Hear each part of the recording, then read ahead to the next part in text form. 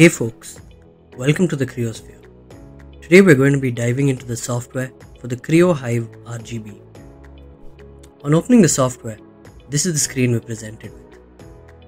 First up, on the left here, we have the profile section. Here, multiple profiles can be created, uh, edited, and then saved along with their customized presets to be loaded onto the keyboard. We can also export profiles, delete profiles, or even import profiles if you have previously stored ones. This section of the software shows lighting customization.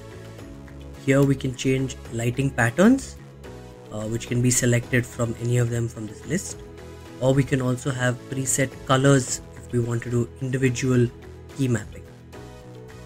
We also have a brightness section here and a speed option to choose how quickly or slowly the patterns pulse. Changes made here don't require any saving and are immediately loaded onto the keyboard. Next we have the button mapping page.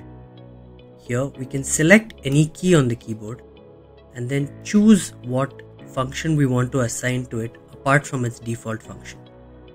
We can assign say for example a multimedia key, choose our option here and then we need to click the save icon here for the change to be taking place on the keyboard and stored on the keyboard. Next we have the macro management function. Here we can create and record a new macro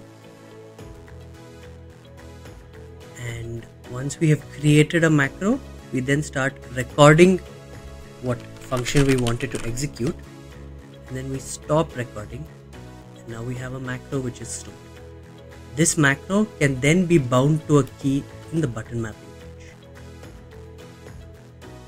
Finally, we have the other settings part of the software, which allows us to turn on functions like Windows lock or swap WASD for the arrow keys or turn on and off N key rollover. Here we have the keyboard settings for Windows itself. And finally, we have the polling rate of the keyboard which ideally should be left at 1000 Hz itself. Now that you're all caught up, you're ready to go beyond limits.